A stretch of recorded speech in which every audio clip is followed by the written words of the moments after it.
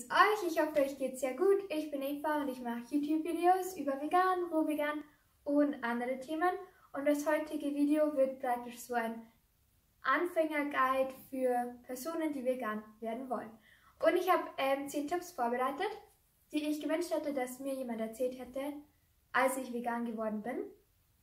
Ich glaube, dann wäre es einfacher geworden.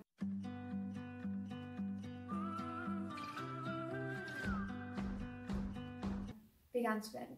Der erste Tipp ist, dass man offen sein sollte, weil vegan, es gibt so viele falsche Stigmen über vegan, dass es ungesund ist, dass es zu teuer ist, dass es oder dass man Proteinmangel hat, dass man, weiß ich nicht, irgendwie, also, also es gibt auf jeden Fall viele falsche Stigmen, was aber nicht der Fall sein muss, weil vegan gibt, also hat mir so viel gegeben, also von, ähm, weiß ich nicht, von mehr Ausdauer, schönere Haut, schönere Haare, mehr Energie, äh, mehr Weltblick und so weiter. Also es ist ziemlich cool gewesen und ich finde auch, wenn man so eine Mentalität umstellt von, ach, ich muss auf Pizza verzichten, ich muss auf Käse verzichten, zu hin, ich kann viel mehr ähm, oder ich kann neue Rezepte ausprobieren, die vegan sind, weil um ehrlich zu sein, es gibt so viele verschiedene äh, Gemüsesorten und Obstsorten, die man noch nie ausprobiert hat oder ähm, verschiedene neue Rezepte. Das war bei mir zum Beispiel so. Ähm, bevor ich vegan geworden bin, habe ich mich sehr, sehr einseitig ernährt von ähm, Fast Food oder von ähm, zum Beispiel Fleisch, also Wurstbrot am Morgen, vielleicht ähm, Wurstbrot auch am Abend. Also es war auf jeden Fall einseitig. Und dann habe ich, bin ich vegan geworden und habe angefangen zu kochen und ganz, ganz viele neue Rezepte ausprobieren. Und ich, also ich habe viele neue Sachen ausprobiert und ähm, auch viele neue Obst- und Gemüsesorten ausprobiert und eigentlich habe ich mich dann viel, viel verschiedener ernährt. Also es war ganz interessant. Der zweite Punkt ist, dass du ähm, bisschen ähm, nicht so streng mit dir selber sein solltest, weil, um ehrlich zu sein, wenn du vegan wirst, ist es schon eine große Umstellung, vor allem für Leute, die vielleicht 30 oder 40 Jahre lang sich anders ernährt haben. Also es ist einfach eine komplette Umstellung, wie man sich ernährt. Das heißt, ähm, es braucht einfach Zeit, dass man ähm, irgendwie lernt zu kochen oder neue vegane Rezepte ausprobiert, Alternativen ähm, sich raussucht oder dass man sich auch informiert. Es braucht alles Zeit. Und ähm, es kann auch vielleicht am Anfang ein bisschen überwältigend sein, vor allem mit so neuen Strömungen wie Minimalismus, ähm, Zero Waste oder dass man zuckerfrei sein will oder und so weiter und so fort. Also, dass man einfach Schritt für Schritt alles angehen muss und du musst auch nicht von heute auf morgen vegan sein, sondern du kannst es wirklich ähm, über Wochen machen, über Monate machen, über Tage machen, so wie es dir am besten passt. Ähm, für mich war es auf jeden Fall auch nicht von heute auf morgen, sondern es war ein längerer Prozess. Schau einfach, was für dich am besten passt ähm, und gib dir dann auch selber die Zeit dafür.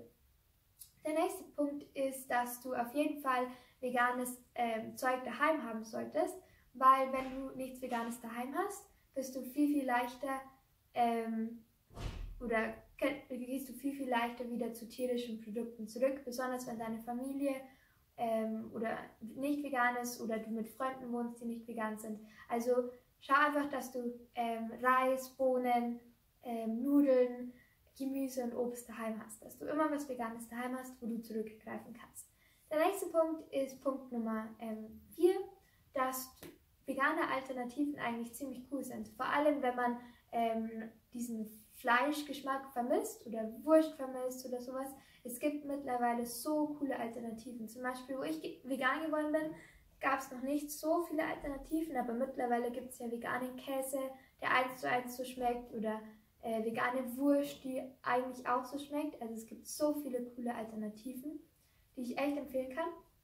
Und klar sind sie vielleicht nicht das gesündeste, aber ich glaube, sie sind immer noch gesünder als so tierische Produkte. Ähm, und vielleicht einmal in der Woche oder alle zwei Tage oder sowas kann man sich das, glaube ich, schon kaufen. Ähm, dann der fünfte Punkt ist, dass man ähm, vielleicht Bohnen eher langsamer ähm, isst, also halt, dass man nicht gleich ganz viel Bohnen isst, sondern dass man das eher langsamer angeht, weil für viele Menschen, die in die vegane Diät einsteigen, kann es zu Blähungen verursachen, weil der Körper nicht an so viel viele Ballaststoffe gewohnt ist. Weil wenn man ähm, vegan wird, isst man meistens ähm, auch mehr Ballaststoffe, also mehr Obst und Gemüse und da muss der Körper erst diese Bakterien aufbauen und bilden, damit er die ähm, Ballaststoffe gescheit äh, verarbeiten kann und es braucht einfach Zeit. Dass man da einfach ähm, zum Beispiel nicht rohen Brokkoli oder rohen Blumenkohl oder sowas isst, sondern die eher ein ähm, bisschen noch erhitzt. Äh, genauso, dass man nicht zu viele Bohnen gleich auf einmal isst. Ähm, der sechste Punkt ist, dass man drei oder zwei äh, Lieblingsrezepte sich aussucht, auf die man dann immer zurückgreifen kann. Zum Beispiel Avocado-Toast ähm, hat mir viel gebracht oder das einfach schnelle, einfache Rezepte, die mega lecker sind und nicht viel Zeit dauern, dass man die einfach in seinem Fokus hat, weil wenn man dann richtig im Stress ist oder so, dass man dann einfach drauf zurückgreifen kann. Und es gibt ganz, ganz viele Rezeptideen auf YouTube, auf Instagram, auf Pinterest. Ähm, man muss einfach nur eintippen äh, vegane Rezepte und dann kommen ganz, ganz viele. Ähm, der siebte Punkt, den ich mit euch teilen will, ist, dass man auf seinen Hunger hören sollte, weil ähm, pflanzliche Ernährungsmittel, Nahrungsmittel haben einfach nicht so viele Kalorien wie zum Beispiel ähm, Fleisch oder Käse oder so. Das heißt, du musst öfter oder du kannst öfter am Tag essen. Ähm, genau, das war bei mir so, wo ich mir dann dachte, jetzt bin ich schon wieder hungrig.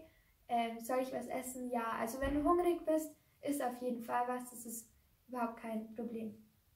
Der achte Punkt ist, es ist wichtig, dein ähm, Warum zu wissen. Also dein Warum kann alles Mögliche sein. Zum Beispiel für die Umwelt, für die Tiere, für deinen Gewichtsverlust, für schönere Haut, für mehr Energielevel. Genau, also alles Mögliche kann es sein.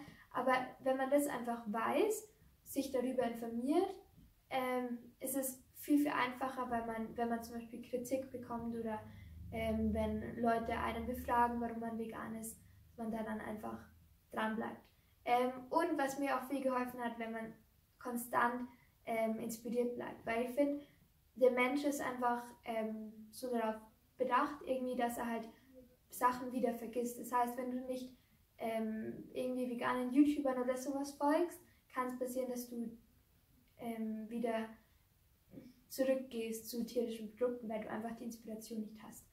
Ähm, der neunte Punkt ist, dass du ähm, nicht so sauer auf dich selber sein solltest, wenn du mal tierische Produkte isst, weil es kann passieren, also vor allem wenn man ähm, noch nicht so viele Informationen hat oder unsicher ist, dass man dann mal tierische Produkte isst. Zum Beispiel war es bei mir so, da war ich vegan, war bei mir noch ziemlich unsicher, ob das überhaupt äh, wirklich wichtig ist, sich vegan zu ernähren und habe dann immer, wenn ich bei Freunden war, was nicht so oft war, aber manchmal habe ich dann noch, ähm, keine Ahnung, Käse oder irgendwie sowas gegessen. Also kein Fleisch, aber Käse. Ähm, aber wie gesagt, es war nicht oft und klar, ich habe dann gelernt und so weiter, dass es auf jeden Fall eine coole Ernährungsform ist, auf die man stolz sein sollte. Ähm, genau, und ganz ehrlich, ähm, sein, weil ich finde, es, es braucht eh schon ganz viel Mühe und ganz viel Mut, dass man gegen Familie oder gegen Freunde oder gegen die Gesellschaft steht und einfach sagt, ich, ich finde, Veganismus ist weniger Tierleid, deswegen mache ich es. Und es braucht schon, finde ich, sehr viel Mut. Und ich finde, da kann man schon stolz auf sich selber sein. Und der zehnte und letzte Punkt, den ich teilen will, ist die vegane Message eher mit Liebe zu verbreiten. Hört sich vielleicht ein bisschen cheesy an, aber ähm, bei mir war es so, ich habe nicht viele Leute gepusht eigentlich, weil ich ziemlich schüchtern war, aber mein Mom habe ich ein bisschen gepusht und es hat nicht so viel gebracht. Also sei nicht so der böse Veganer, sondern sei eher der liebe, nette Veganer, der andere Leute inspiriert durch sein Beispiel. Das waren die Punkte, die ich wünschte, dass, sie, dass mir jemand erzählt hätte. Ähm, genau, und wenn euch das Video gefallen hat, was ich hoffe, dann könnt ihr dem Video einen Like geben und mich abonnieren. Ich würde mich sehr, sehr, sehr, sehr freuen. Und ja, genau, ich wünsche euch auf jeden Fall noch einen sehr schönen Tag. Ciao, ciao.